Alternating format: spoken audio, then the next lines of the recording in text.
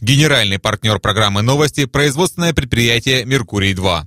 Анапское производственное предприятие «Меркурий-2» предлагает приобрести квартиры во второй очереди строящегося жилого комплекса «Солнечный». Удобная планировка квартир, развитая инфраструктура, близость к морю. Срок сдачи – четвертый квартал 2013 года. Телефоны 48 333 и 48 300. Партнер программы «Новости» – магазин «Время подарков».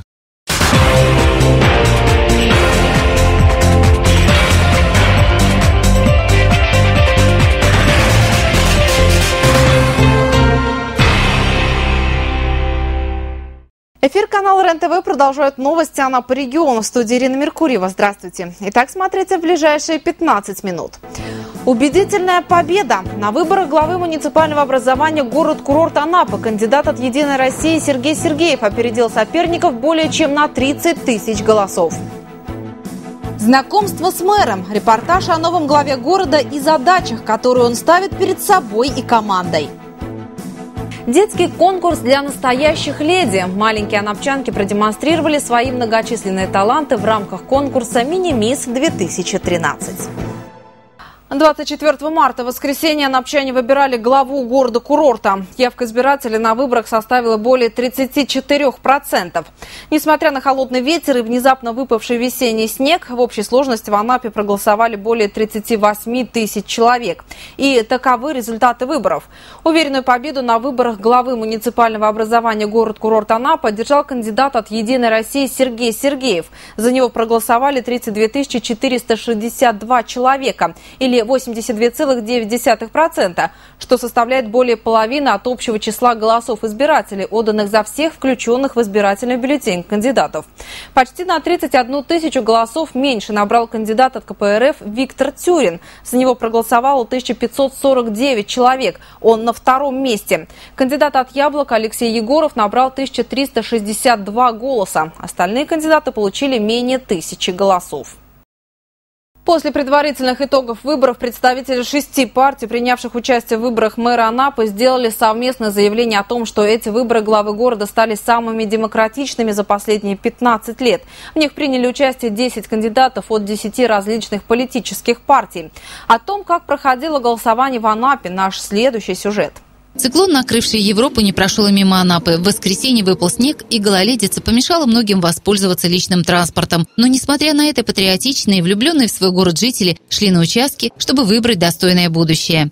Потому что неравнодушны судьбе города. Успокоимся. Выбрать пришли. Все-таки мэра города надо выбирать, да. Поэтому мы хотим, чтобы порядок был в городе. Ну, мы всегда ходим на выборы.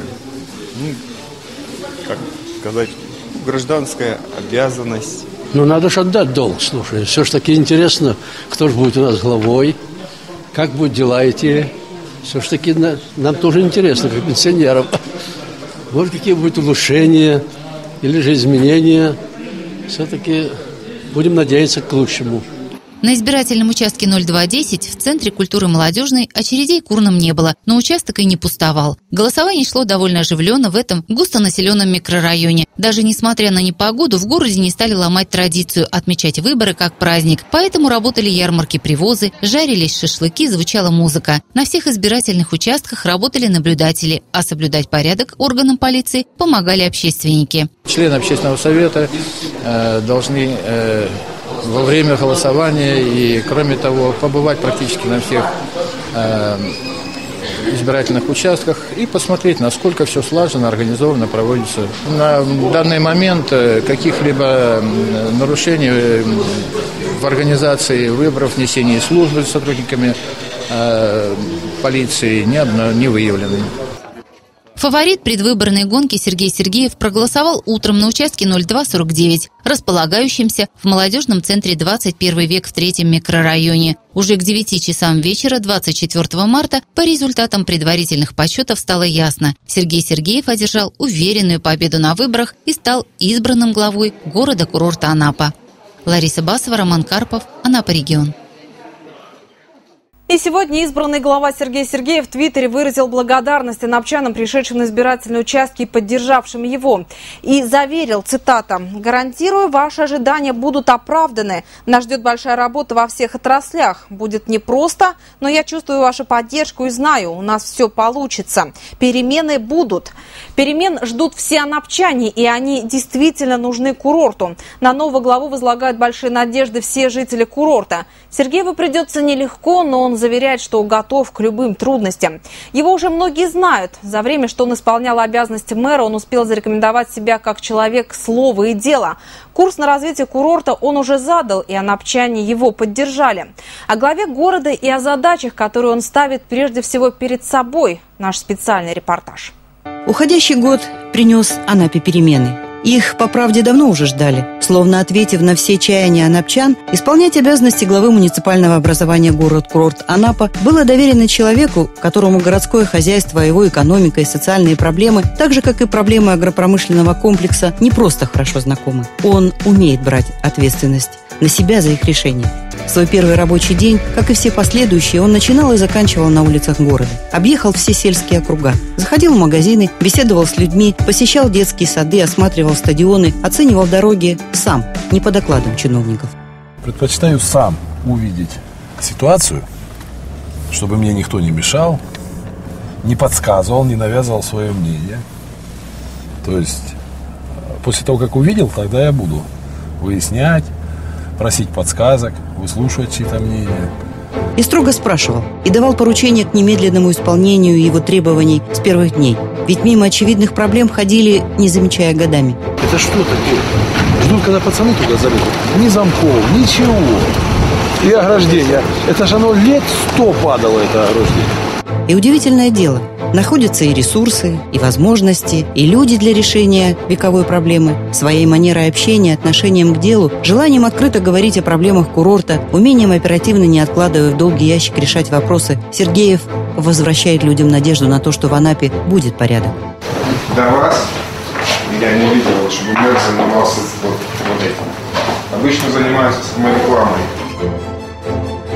Сергеев терпеливо выслушивает еще одну историю, как за свои деньги несколько лет люди не могут подвести газ к своим домам и определяет задачу, которую, как и многие высказанные им позиции, тут же разберут на цитаты.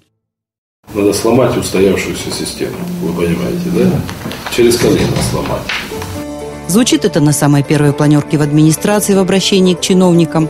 Значит, сразу говорю, при работе с населением, всем присутствующим в зале, ответ, что мы не решаем эту проблему, потому что нет денег в бюджете, ну, я очень жестко буду с этим.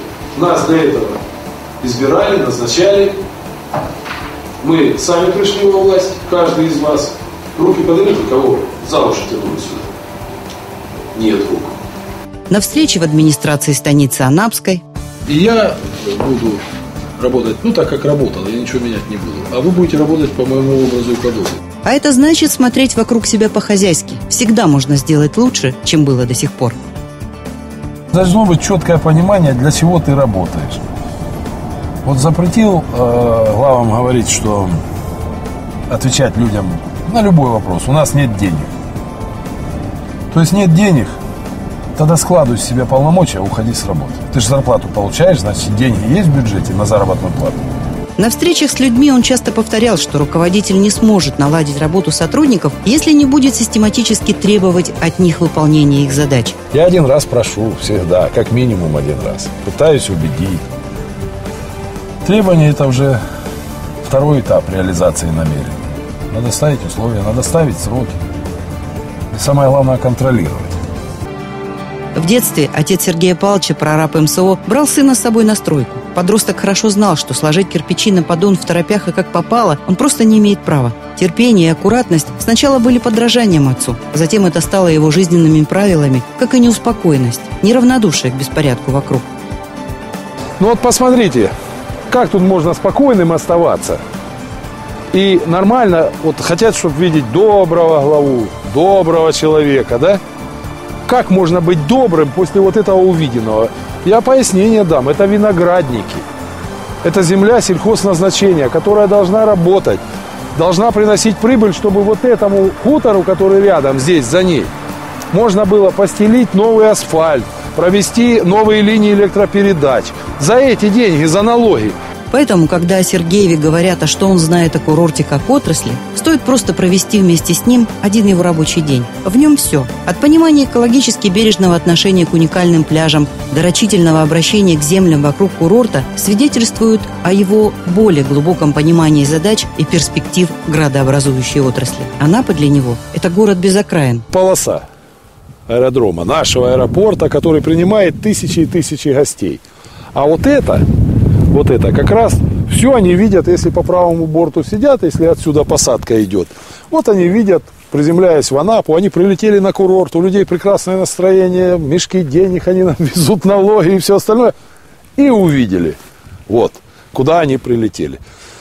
Первое впечатление, оно чаще всего бывает решающим. Считается, что руководитель – это не профессия, а общественная и гражданская позиция человека, чей взгляд на мир и отношение к окружающим зачастую формируется еще в детстве, где основу всему закладывают родители. Я заучем работала в школе. И зауч, знаете, как двусменное занятие в школе, с утра до вечера в школе. Ухожу, раздам им задания. Вот это ты сделаешь, это ты сделаешь. Но, правда, они всегда выполняли, все делали. Сергей, если что надумал, он все выполнит, все сделает. На него можно положиться. Можно положиться. Вот. Он будет работать честно.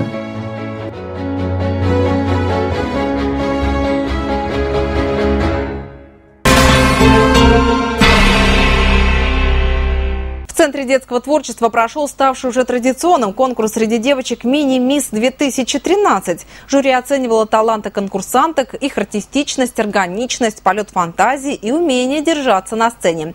Пять юных первоклассниц показали все свои творческие способности и доказали, что каждая из них достойна звания «Мини-Мисс».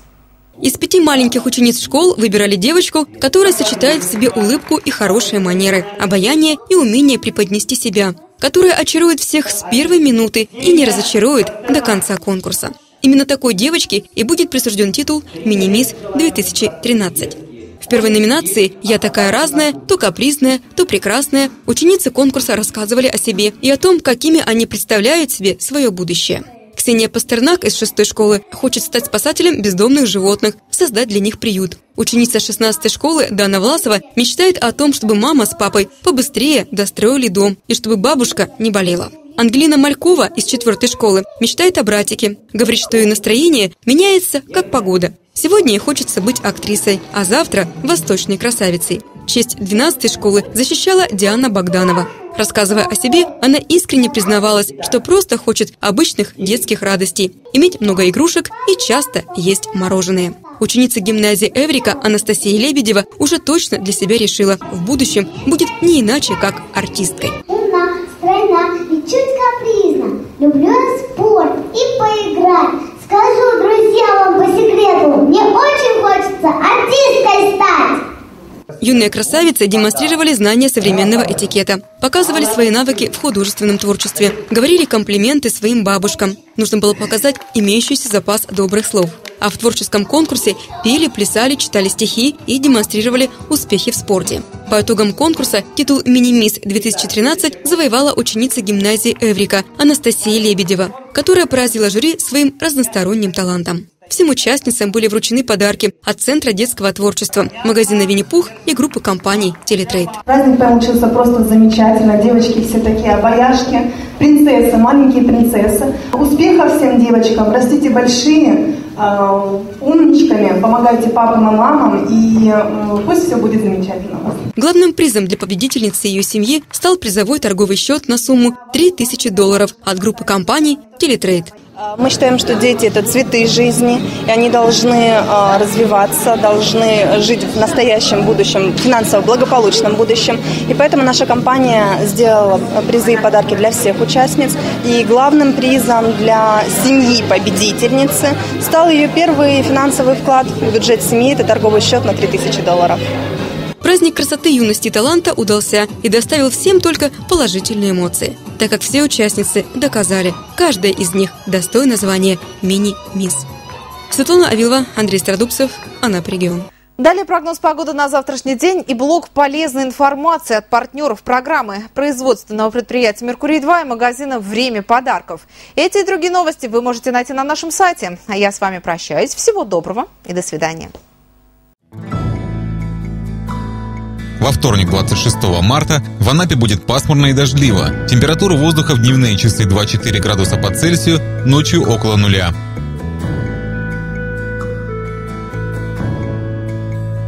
Атмосферное давление 756 миллиметров ртутного столба. Ветер северо-восточный 7-9 метров в секунду. Температура морской воды в Анапской бухте 7 градусов тепла.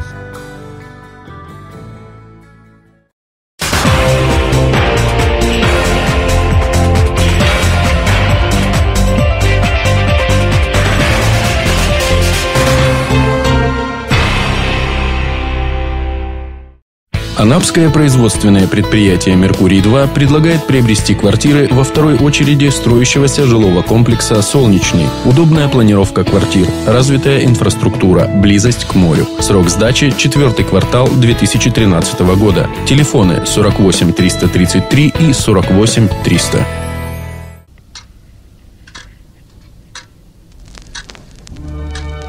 Подарки должны радовать и оставаться на память.